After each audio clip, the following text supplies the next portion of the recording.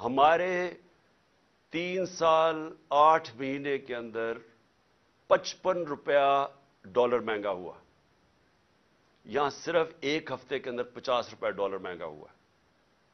मैं क्यों डॉलर का आपको बता रहा हूँ कि इसके बहुत बड़े अब आगे जाके इसके असरात पड़ने लगे हैं आम लोगों के ऊपर। आप जो सुन रहे हैं, आप सबके ऊपर अब इसके असरात आने लगे हैं। कि आ चुके हैं। महँगाई आ चुकी है। अभी भी जो महँगाई है, पचास साल में पाकिस्तान की तारीख में सबसे ज़्यादा महँगाई है।